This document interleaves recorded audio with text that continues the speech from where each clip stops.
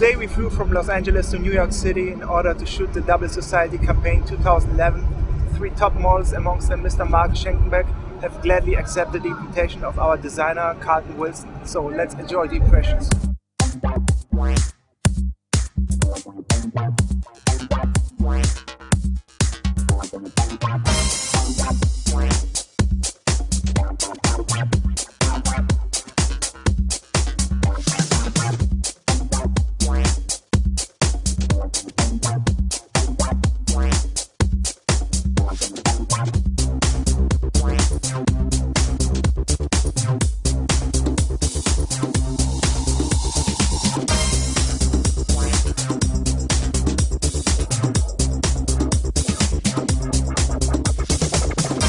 New York City, Manhattan. Wir schießen hier im Rooftop von den Jack Studios.